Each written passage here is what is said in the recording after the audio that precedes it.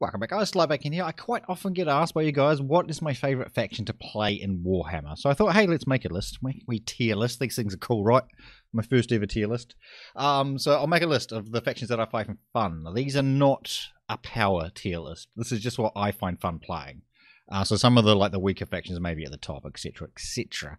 So we'll just go through them as they're presented. I might give a reason for each one. I may not. Some of them are pretty self-explanatory, but let's go through them. So first up, we got the Beastmen. Beastmen are pretty fun. They're pretty old now, though. Like, there hasn't been an update to the Beastmen since they came out in Warhammer 1. So, if they get an update, which we're kind of hoping they get a DLC before Warhammer 3 comes out, they're probably somewhere up here. But as they stand, they're probably. Oh, God. They're probably there, to be honest. They're quite low on the list of what is actually fun. But if they do get an update and a bit more power, they probably jump way up there to be honest. Like when they first came out, they were real fun, but now they just they just don't stack up. So we're gonna have to put them down the bottom, unfortunately. Uh, next up, we got Bretonnia. So I'm not a fan of human factions in general. However, Bretonnia have a slight advantage that they have the whole King Arthur story, the Grail, all that type of stuff behind it, which actually makes it quite fun to play. And I do quite enjoy their campaigns, actually. Especially Carcassonne Carcassonne. I like that campaign quite a lot. I don't like the new one with the the lady over in the desert. I don't find that enjoyable at all. So I'm gonna put them probably there. Strictly based on the fact that you get to play basically as like the Grail Knights and that type of thing. Not the actual unit, but you know, the King Arthur story. Dwarfs. Frickin' Dowie, mate. Dwarves, I freaking hate playing against. However, I do like playing as dwarves. so I'm going to have to put dwarves up in. Oh, God. No, they're definitely not better than Bretonnia. Actually, I'm going to drop Bretonnia, sorry. Because dwarves, I would rather play than Bretonnia, but Bretonnia are quite fun. But dwarves are above them. But they're not above these guys, whatever goes into there. Dwarfs, yeah, dwarfs are like really annoying to play against, but really fun to play as. If you like just like camping in corners and blowing stuff up which is always fun. So that's cool. Right, Greenskins. Right, if you followed me at any time, you know Greenskins is S tier. Greenskins, any lord, any faction, whatever. It's all fun. Love it. Update made them even better. Like they were S tier anyway for me. Um, but then the update uh, with Grom put them, I don't know, super S tier. If there was such a thing, they'd be way up there. So much fun to play. I love campaign. I don't even know how many times I've done a Greenskin campaign, like a legendary one. I'm thinking like 10 at least we've played. So many. It's so much fun though. Lizardmen. Lizardmen, honestly, are S tier as well. I love playing Lizardmen as well. I mean, who doesn't want to play as like giant dinosaurs, man? They're so much fun. Not as good as the Greenskins, so I definitely rank them below the Greenskins, but still an S tier faction.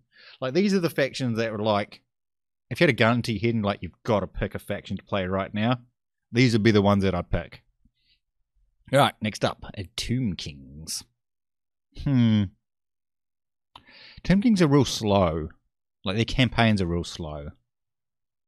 The mythology and stuff behind them is actually pretty cool, though. You know, obviously the undead uh, Egyptian stuff. That's pretty cool. Their big units are fun. Probably put them in there beside dwarves.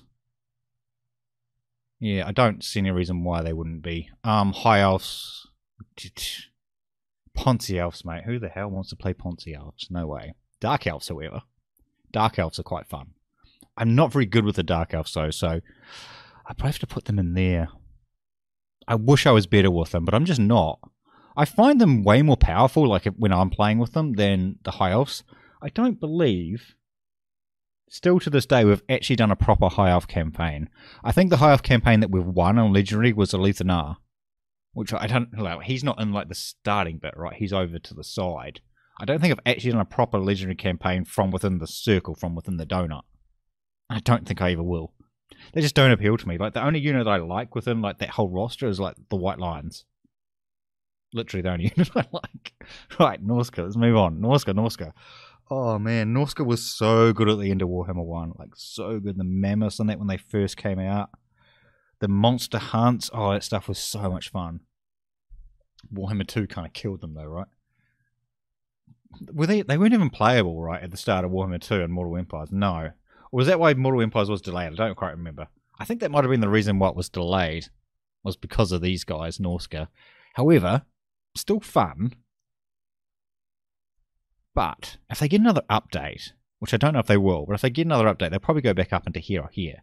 They're a very similar vein to these guys, like the same way they play. A lot of monsters, a lot of heavy infantry, that type of stuff. Their campaign just was a little bit better just because of the monster hunts and stuff, but I think the monster hunts are a little bit far away from their actual starting area. But once you get rolling and you get like, like a big mammoth stack going, oh, that's so much fun. That is really fun. Empire. I literally made E and F just so I could put Empire and F. I just don't understand why anybody wants to play a fantasy game and play as humans. And I know these guys are here. That's why I said they had a special caveat because of the whole Grail thing.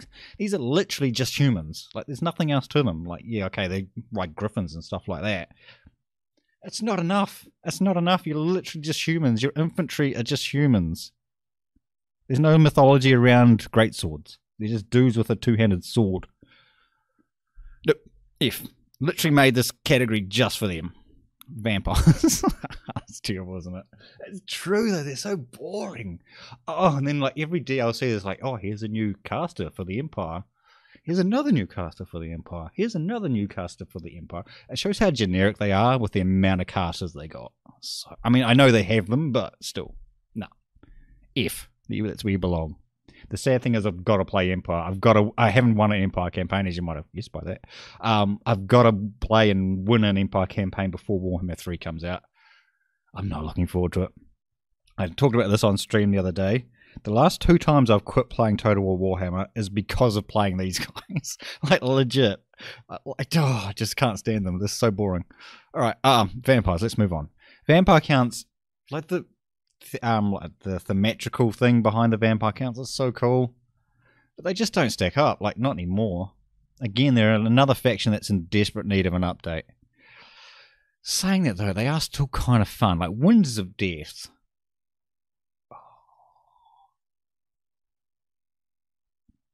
Winds of Death is really good. It makes it really fun to play. They've got to go on there, right? I don't have anybody in A tier. Huh. It may change. May change. Chaos. Chaos are very similar to Beastman. Like, the idea behind the faction and all that, and the units individually, like, they're really good, but they're just outdated now. They're just not that fun. The whole. No, it's not even the Horde mechanic, because the Horde mechanic with that dude, with the Lizardmen guy, is actually quite fun. I think just just the way it's implemented with these, which is very old school, it's just not fun. It's not fun anymore. I tried to play the um, I tried to play Chaos the other day, a couple of weeks back now, um, just off recording and stuff, just for my own enjoyment. Not fun. Not fun. These two factions here, I have actually got to do a campaign with before Warhammer 3 comes out because I haven't won a legendary campaign with either of those. All right, Skaven. Skaven have become a little bit of the new Empire with all their units and stuff like that that they're getting. Like, there's quite a lot of stuff they're picking up. Uh, but they are fun. They are fun. The new campaign, the new dude with the laboratory stuff, laboratory, laboratory stuff, it's actually really fun. They're not on the same tier as these guys. They're going to be our first A tier, I think. I do enjoy playing them quite a lot. I really like their artillery. Their artillery is really good. Mm, mm, nah, they're definitely going to be A. They're definitely not S tier. They're not the same level as these guys. But they're yeah, they're definitely more fun than them. Yeah, they've got to be A. They may be on A by themselves actually. Ah, the Vampirates. They're pretty fun too. Some of them. yeah, some of them are pretty fun. Vampire and Pirates. Oh, actually, no, they're going to go straight into A. They actually are. I do like playing them as well. Just the combination of the, the big monsters, especially the ships, when you get a, like a stack of those big ships and you just destroy stuff from range is so much fun. Yeah, I think they belong strongly in an A. Definitely, they're definitely not S tier.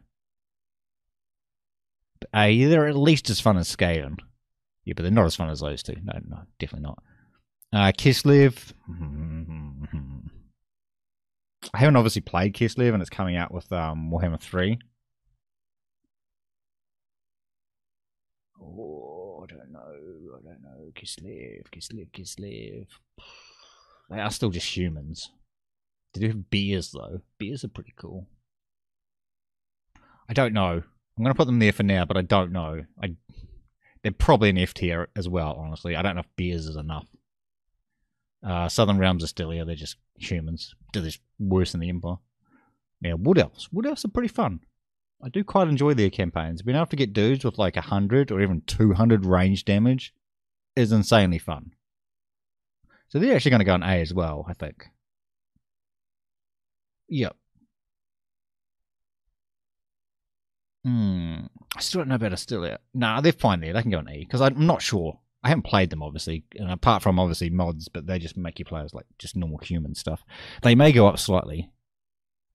They may go into there, honestly. Wood elves though, wood elves are fun. All their lords are fun. Like you get to play. I mean, Ponce elves are Ponce elves, right? But wood elves, you can play obviously as like the range-based wood elf people, elves, and then you can play as the trees men, and you can play as like Durthu and stuff. That's actually really good. And the last one, the one we're playing at the moment, the Sisters of Twilight, which is all like flying based. Oh, they did it so well. Like these guys, you do flying based with Tiktaq'to, but no, it's not as good as this. But overall, Lizardmen are better. Yeah. All right. I think I'm pretty happy with that list. I don't want to make this a really long video, but I think I'm pretty happy with that list. Let me know what you think about where I've put things. It'd be quite interesting to see what other people come up with. But I kind of like that list. Yeah, I think everything's in the right place. Alright guys, that's we're going to wrap it up. Like I say, just a quick video. Hopefully you enjoyed it. If you did, remember to hit that like button. It really does help the channel out. Thanks for watching guys. We will see you next time.